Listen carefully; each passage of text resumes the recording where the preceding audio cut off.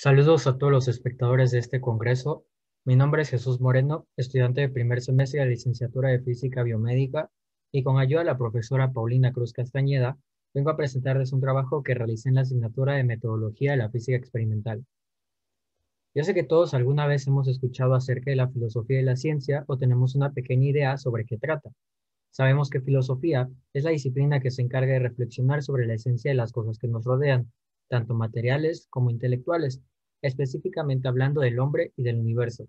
Y ciencia, bueno, a grandes rasgos, es todo el saber humano.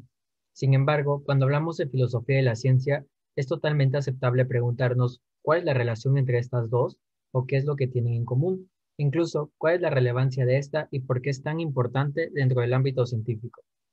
Entonces, durante mi rotación con la maestra Paulina, me pregunté de dónde surge esta disciplina y en qué momento se empezó a vincular con la ciencia. Es por esto que dije, bueno, vamos a investigar y buscar información sobre esto, porque es más interesante que algo tan presente en nuestros días, y especialmente que se ve como limitación u obstáculo en la ciencia, no sepamos su historia. Es por ello que les voy a exponer una infografía que hice sobre el panorama en la filosofía de la ciencia en el desarrollo científico, reconociendo la filosofía de la ciencia como una disciplina filosófica específica y sociológicamente identificable en la historia del desarrollo científico. Para iniciar, debemos conocer los orígenes de la ciencia. El filósofo León Olivet nos propone que el primer paso crucial en el desarrollo de la visión moderna del mundo científico fue la revolución copernicana.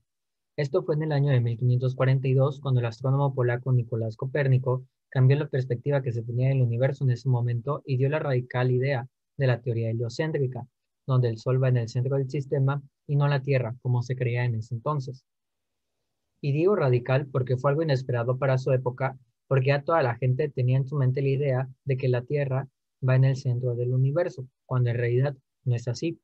Un ejemplo que me ayuda a situarme en la época es cuando me preguntaron si sabía dónde crecen los cacahuates. Yo todavía podría jurar que los cacahuates crecen en los árboles, pero en realidad no es así.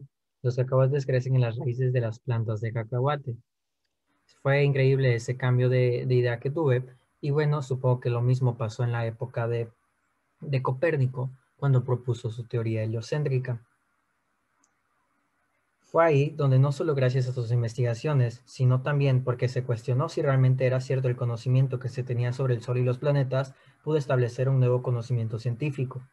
Posteriormente, en Europa, surge la revolución científica y es aquí donde la ciencia empieza su desarrollo como tal, por otro lado, el origen de la filosofía actual de la ciencia puede citarse en el primer Congreso sobre Epistemología de las Ciencias Exactas, celebrado en Praga del 15 al 17 de septiembre de 1929, donde varios físicos y matemáticos alemanes, los pertenecientes al Círculo de Viena, principalmente participaron. El cuestionamiento que se puso en juego en el Congreso fue, ¿qué representan las teorías físicas actuales para la teoría general del conocimiento? Con esta crítica del conocimiento que se tenía, surge la importancia de la filosofía como intercesora en la ciencia, encargándose de cuestionar los métodos de los que la ciencia misma no se encarga. Podemos reconocer varios científicos que a lo largo de la historia no solo han ocupado el método científico para el desarrollo de sus experimentos, sino que también han procedido al uso de la filosofía. Algunos de ellos son Descartes, Newton y Einstein.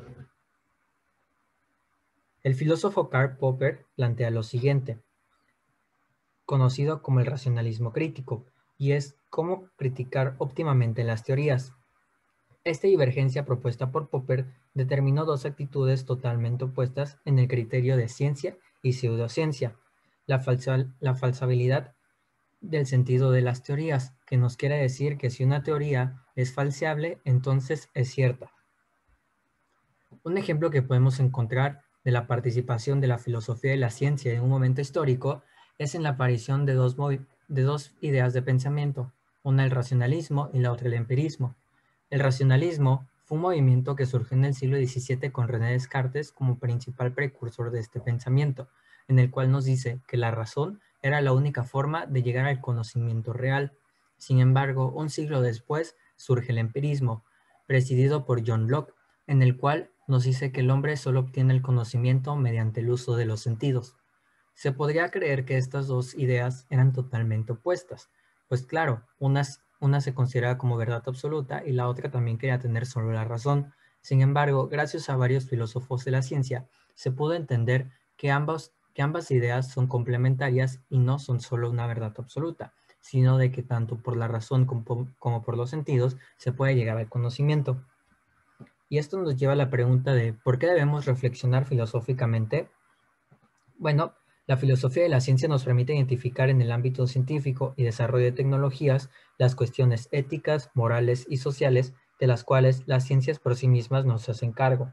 Esto nos permite conocer el impacto de cierto método, conocimiento o aplicación desde tres aspectos importantes, el epistemológico, el histórico y el de impacto social, teniendo en cuenta que el epistemológico es el que nos indica la aprobación o desaprobación de los métodos que se siguieron para llegar a cierta teoría o conocimiento, el histórico abarcando el impacto que puede tener en la historia de la sociedad y el impacto social nos permite entender el impacto ya sea bueno o malo de la aplicación del nuevo conocimiento y la tecnología.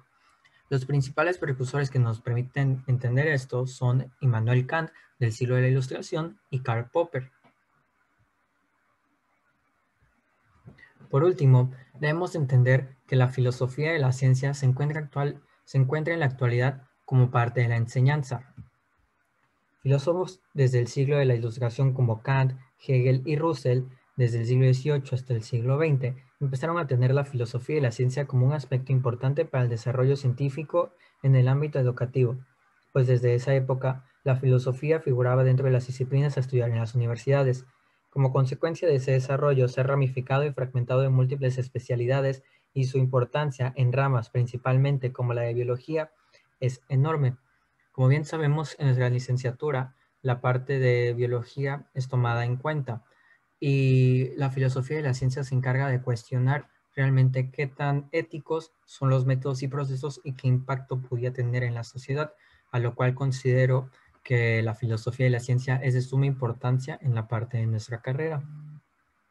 El filósofo francés Jean Gallon dice que por inicio de las necesidades inherentes de la filosofía y la historia es necesario que en los estudios de ciencias también se desarrolle una parte filosófica. Y yo opino que no incluso son las ciencias, sino también en ingenierías y algunas, algunas carreras como medicina, en las cuales, si nos damos cuenta, la aplicación de la filosofía es totalmente necesaria y es por eso que su relevancia surge en la actualidad.